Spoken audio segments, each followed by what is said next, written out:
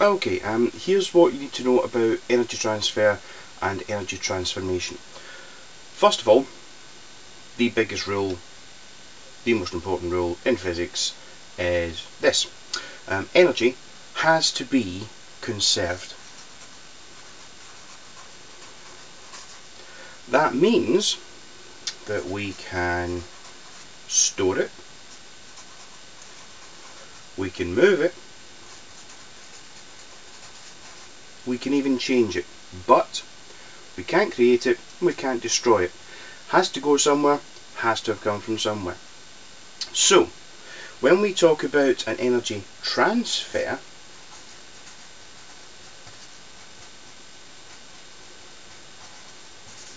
we're talking about taking energy and moving it from one place to another. So, for example, if we had energy that was stored in an electrical cell and that energy was then moved to a light bulb then we would say that the energy had been transferred from the cell to the bulb. Dead simple. In this process there's an energy transformation as well and energy transformation simply means to change that energy from one kind to another. So here in our cell we have chemical potential energy.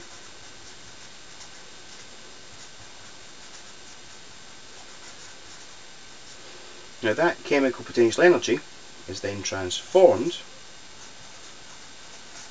into heat and into light.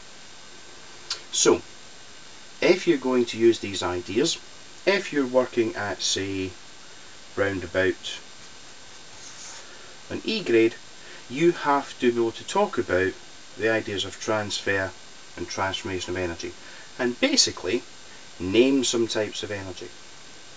If you're working towards a C grade, then you would need to be able to talk about energy transfer and transformation in terms of what's useful and what's wasted. So in our light bulb, for example, this heat energy here, that's wasted energy. And the light energy is the useful energy. If you want to work up to an A or an A star grade, you have to be able to evaluate these processes. So for example, talk about different types of light bulb and which is the most efficient. Now efficiency is actually a really simple idea. Efficiency simply means taking the useful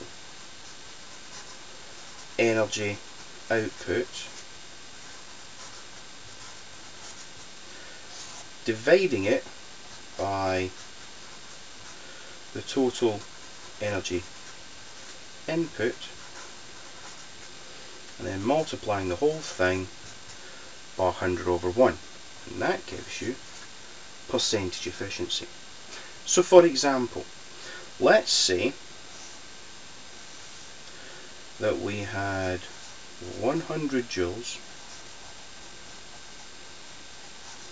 of electrical energy and that 100 joules of electrical energy is being supplied to a light bulb. So the light bulb turns 90 joules into heat and it turns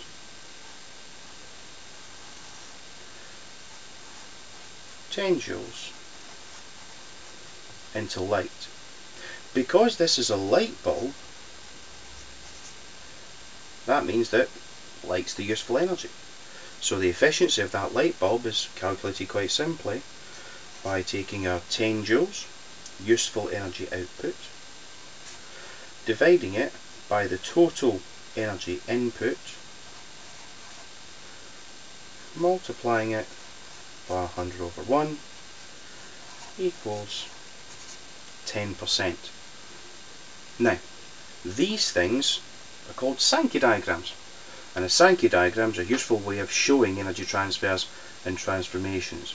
This one's just sketched, so if you were drawing it to scale, you would notice that the width of the arrow is proportional to the value of the number here.